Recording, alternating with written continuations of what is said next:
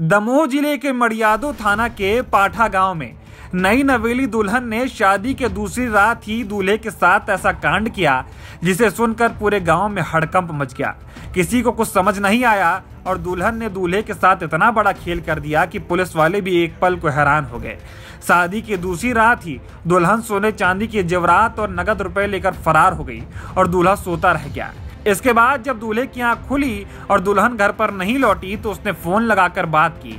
तो दुल्हन ने वापस आने से इनकार कर दिया। जिसके बाद मानो दूल्हे के पैरों तले ज़मीन खिसक गई हो। इलाके में भी हड़कंप मच गया कि दूल्हे को तो उसकी दुल्हन शादी वाली रात छोड़कर ही फरार हो गई, वो भी चूना लगाकर और दूल्हा सोता रह गया। जानकारी के मुताबिक दूल्हे गली कुर्मी की शादी नहीं हो रही थी। और इस बात की खबर दलालों को लग गई। दलालों ने उसकी शादी गाँव के ही सपना कुर्मी से तय करवा दी और उन्होंने शादी के नाम पर दूल्हे के परिवार से चालीस हज़ार रुपए भी हट ली और शादी पक्की हो गई। जिसके बाद दोनों की शादी पूरे रीति रिवाज के साथ धूमधाम से हुई। शादी में पूरा गाँव शामिल हुआ और सबने जमकर जश्न मनाया। लड़के की शादी होने से दूल्हे के घर वाले इतने खुश थे कि उन्होंने नई नवेली दुल्हन के लिए सोने चांदी के गहने भी बनवा लिए थे।